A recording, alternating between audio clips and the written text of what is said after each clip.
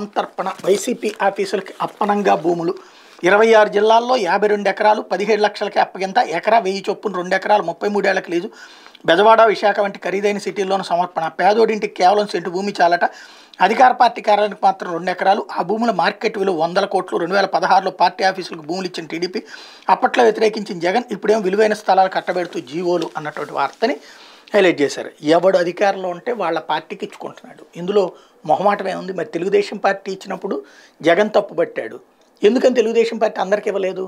ఒకప్పుడైతే కాంగ్రెస్ తెలుగుదేశం కమ్యూనిస్టులు అందరికి ఇచ్చారు ల్యాండ్స్ కమ్యూనిస్టులకు కూడా ఇచ్చారు. హైదరాబాద్లో గాంధీ భవన్ కాంగ్రెస్ పార్టీది కదా అది ప్రభుత్వ భూమి కాదా.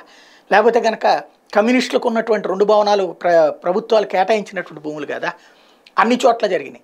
విభజిత రాష్ట్రంలో ఏం చేయాలి? బా పారదర్శకంగా అంటే అన్ని పార్టీలకు భూములు ఇవ్వాలి. కానీ తెలుగుదేశం పార్టీ వాళ్ళ వరకు భూములు ఇచ్చుకుని ఈవెన్ మిత్రపక్షమైన బీజేపీకి ఇవ్వలేదు జనసేనకి ఇవ్వలేదు. ఓన్లీ తెలుగుదేశం మాత్రమే తీసుకుంది. మరి అప్పుడు దుర్మార్గం కాదా? ఇప్పుడు జగన్ సేమ్. తన వరకే తీసుకున్నాడు మిగతా పార్టీలకు ఇవ్వలేదు. ఇది దుర్మార్గమే. ఇది అత్యంత కీలకమైనది రెండో పాయింట్ ఏంటి?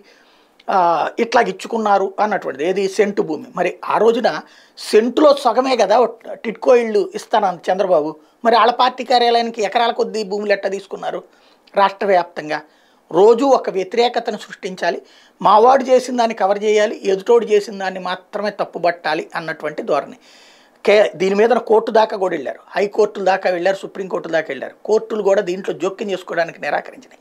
ఎందుకంటే ఢిల్లీలో కూడా అట్లాగే ఇచ్చున్నారు కాబట్టి. టీఆర్ఎస్ కార్యాలయానికి భూమి కొనుక్కున్నారా? ఫ్రీగా ఇచ్చిందా ప్రభుత్వం? ఫ్రీగానే కదా ఇచ్చింది.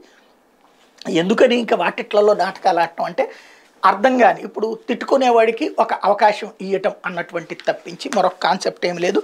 రోజువారీ కాన్సెప్ట్. లేకపోతే ఆంధ్రజ్యోతి ఎండీతో